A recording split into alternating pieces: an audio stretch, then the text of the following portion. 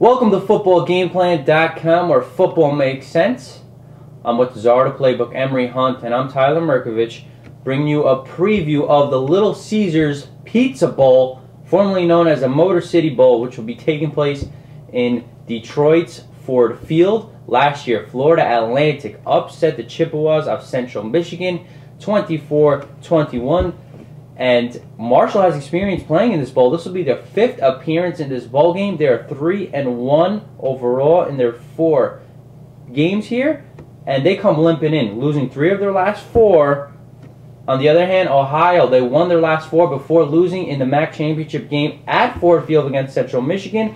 What are your keys to victory for Frank Solich's Bobcats? Well, Theo is going to have to test the back four of the Thundering Herd secondary because that is the weak spot of the, the defense of Marshalls. They have to attack that secondary. Theo Scott should have some success throwing the football this week. Second, they're going to have to improve their red zone offense. They only score 40% touchdowns in the red zone. That has to improve in order to beat a team like Marshall that, that can run the football. You have to score and maximize your possessions when you when you're down there in the money zone, as they like to call it.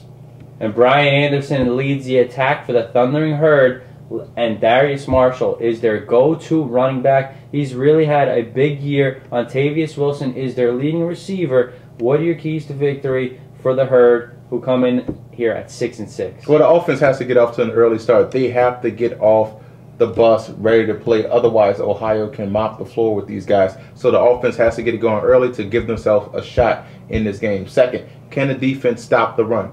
They give up 4, 4.4 yards a carry running the football. You know, Ohio comes in running the football. That's a bad matchup. That's why I like the Bobcats in this matchup to win this game. I don't think Marshall can get off to an early start against a Frank Solich's style defense in this game. I'm going to go with the upset here. I'm going with Marshall. I think Darius Marshall will have a big running game, and they will find a way to beat Ohio, upset them.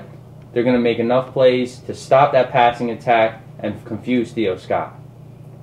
For more, visit footballgameplan.com slash NCAA.